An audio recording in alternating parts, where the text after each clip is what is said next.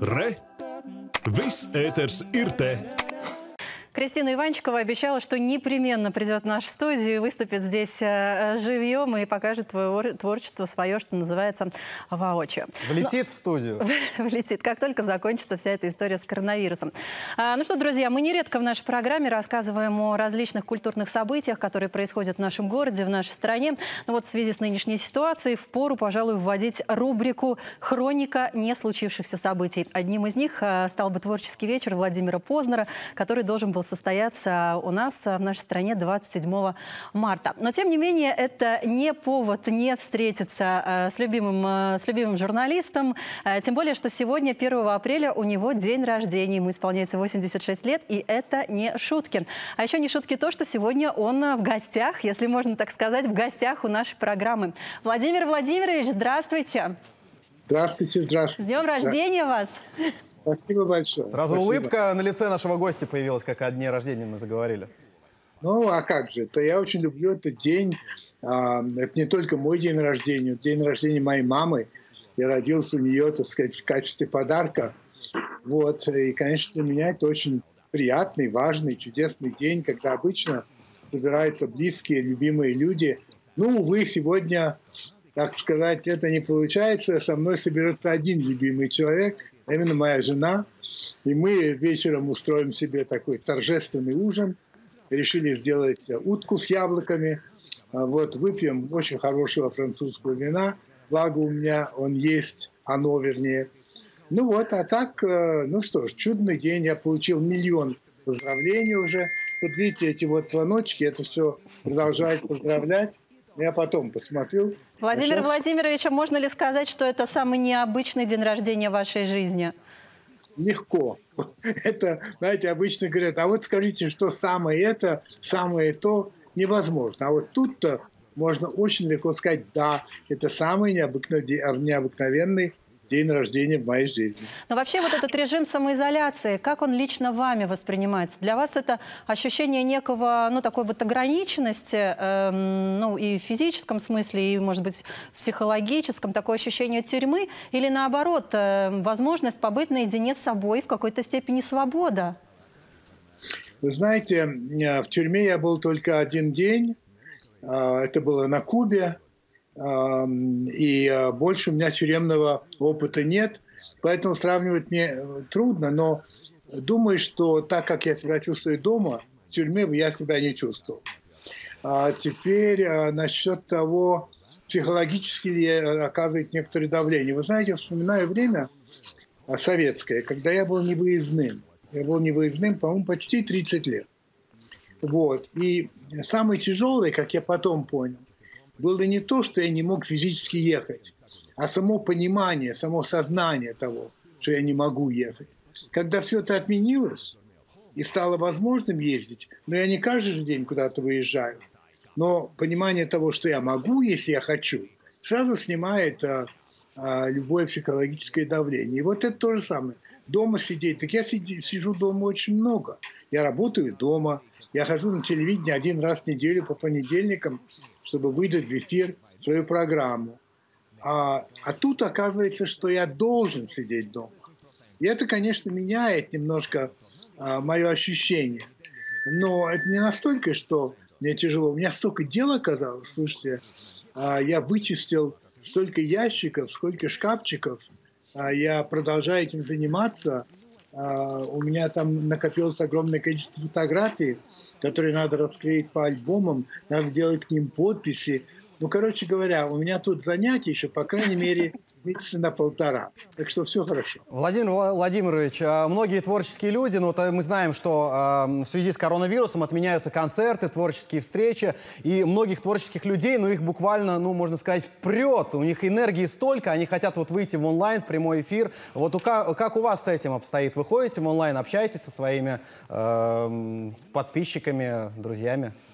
Нет, я вообще в онлайн, онлайн не, не общаюсь вообще. Это я не очень люблю это.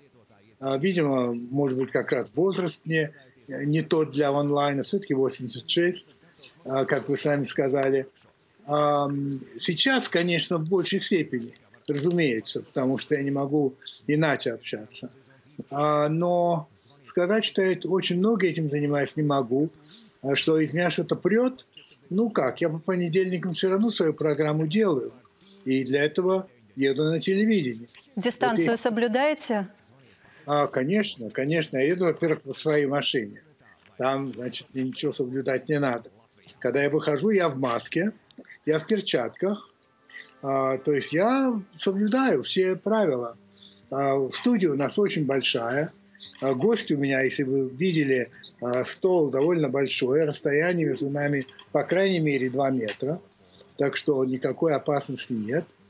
Вот. В общем, я действительно соблюдаю. Я понимаю, что это дело серьезное. И что я, наверное, в группе риска, учитывая, опять-таки, что мне не, не 20 лет. Но вы знаете, я не испытываю по этому поводу какого-то стресса. Ну, я воспринимаю это, когда, ну, вот такая вот история. Не надо валять дурака, как очень многие, которые все равно упорно все равно выходят, без маски, без перчатки, без перчаток. Ну, вы понимаете, если человек не хочет за собой следить, это в конце концов его дело. Но если к тому же он свое поведение, за его поведение другие могут пострадать, это уже не только его дело. И тут я считаю, что нужно принимать какие-то меры. Владимир Владимирович, сегодня вечером вы будете отмечать день рождения со своей женой, но я знаю, что дети у вас в Берлине живут, по-моему. Как они вас сегодня поздравили? Еще нет. То есть так, мой внук Коля мне уже звонил. Ну, значит, я знаю, что они готовят что-то вот такое, а, чтобы вот как раз по скайпу а, мне показать. А у меня дети очень творческие, и вообще и дети, и внуки. И они, конечно, Э, что-то такое готовить, какой-то сюрприз, я в этом не сомневаюсь совершенно. Пока еще не видел, не знаю что. Ну, конечно, это будет. Владимир Владимирович, еще один вопрос. Мы с вами состоим в одном неформальном клубе. Делом в том, что я тоже Владимир Владимирович. Э, в России это имя отчество на слуху по понятным причинам. Э, для вас это плюс? Вы пользуетесь какими-то бонусами или нет? Одну минуточку. Я алло, я в скайпе, перезвоните буквально через пять минут. Спасибо. Будем надеяться, что это не Владимир Владимирович. А вы знаете что? Во-первых, Владимир Владимирович есть для меня два совершенно выдающихся. Одного звали Маяковский. Конечно. А, а другой Набоков. Вот. А, а, ну, я очень рад, что а, я вхожу в вот это число. Конечно, есть президент, а, но я не член его клуба у него клуб другой, потому что он политик, а я э, вообще политику э, не люблю и отношусь к политикам, ну, скажем так, с определенной долей недоверия. А вот писатели а, – это другое дело. А, напоследок, Владимир Владимирович, все мы прекрасно знаем о мерах безопасности, которые были приняты с понедельника в Москве, в Московской области. Не будем, наверное, их повторять. Не раз мы уже о них рассказывали в наших выпусках новостей. Все это, конечно, чрезвычайно тревожно, ситуация серьезная, все мы это прекрасно понимаем, но закончить хотелось бы чем-то хорошим. А, очень часто сейчас говорят о том, что во, всем, во всей этой кризисной ситуации можно всегда найти что-то хорошее. Вот лично для вас, а, что хорошего несет сложившаяся ситуация? Ну, лично для меня, а я вам объясню. Во-первых, я могу поздно спать. А я вообще люблю поспать.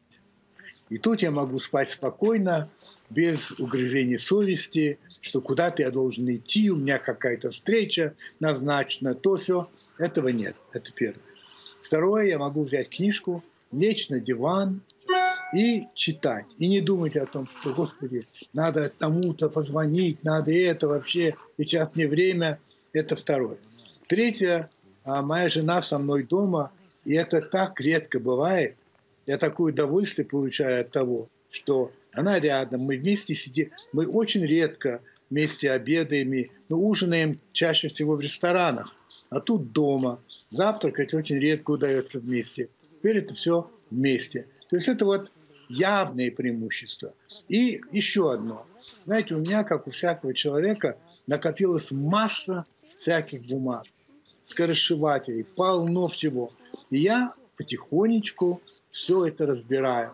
Я уже выкинул, вы не поверите, пять мешков ненужных бумаг и так далее. Кроме того, привел в порядок, я знаю, где лежит разные, чего я не знал раньше. И главное, может быть, я нашел совершенно неожиданные вещи. Я забыл об их существовании. Так что лично для меня очень много хорошего. Вы знаете, и Бог, очень. Ну что ж, на этой э, позитивной ноте поблагодарим вас э, за эту, хоть и виртуальную, но все-таки встречу. Вот такая э, мини-творческая встреча с Владимиром Познером, несмотря ни на что, состоялась в нашем эфире. Спасибо вам большое. С днем рождения. Еще раз вам всего вам доброго. До свидания.